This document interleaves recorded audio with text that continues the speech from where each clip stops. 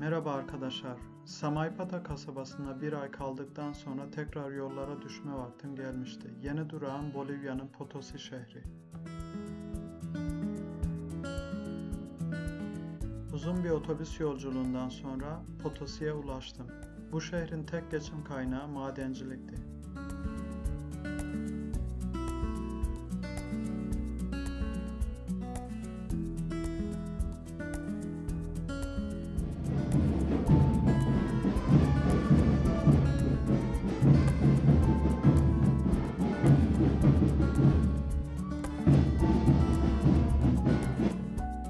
Bu şehirde gümüş çok fazla çıkarıldığı için ayrıca bir para müzesi var.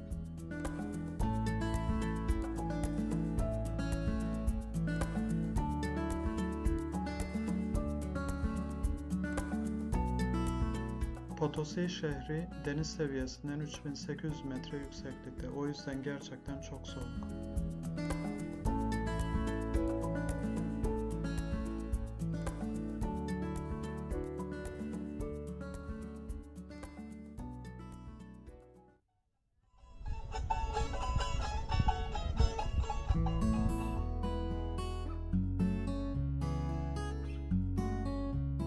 Potosi şehrinde birkaç gün kaldıktan sonra soğuktan kaçarak Bolivya'nın Sucre şehrine geldim.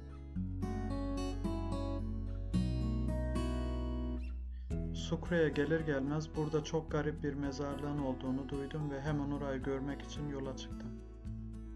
Bu mezarlıkta her ölünün kendine ait penceresi vardı ve ölülerin sahipleri gelip buraya çiçek bırakabiliyordu.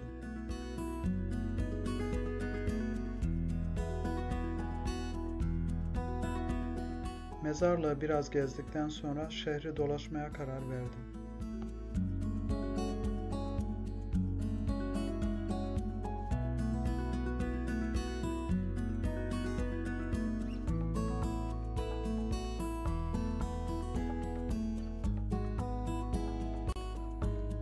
Sucre şehrinde evler kolonyal tarzı ve genellikle beyaz boyalı.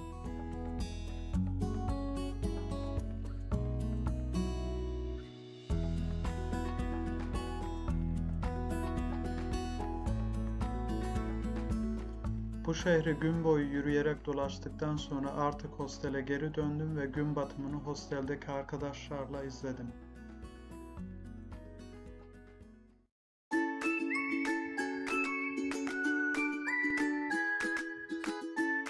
Sucre'de birkaç gün geçirdikten sonra Bolivya'nın Teksası olarak da bilinen Tupiza şehrine doğru yola çıktım. Uzun bir yolculuktan sonra yorulup hemen bir hostel bulup uykuya daldım. Ertesi gün uyanır uyanmaz bir tane kız arkadaşla Tupiza şehrini yukarıdan görmek için yürüyüşe çıktık.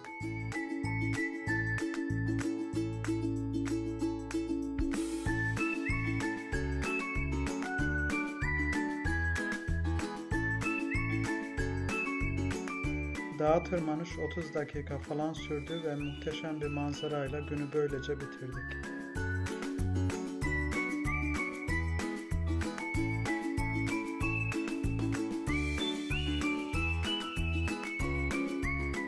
Tupiza'da yaptığım bir diğer aktivite de ünlü İnka yolunu yürümekti.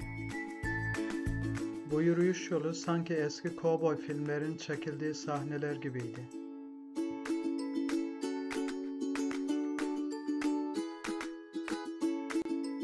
Biraz da Kapadokya'daki peri bacalarını andırıyordu.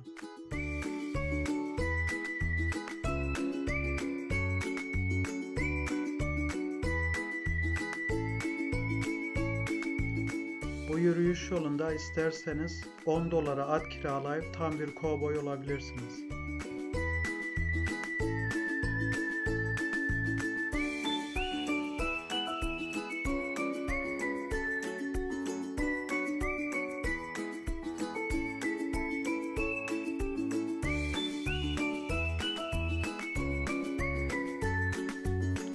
Bu kırmızı dağlarla çevrili olan yürüyüş yolunu 2 saat yürüdükten sonra artık hostele dönmek için yola koyuldum.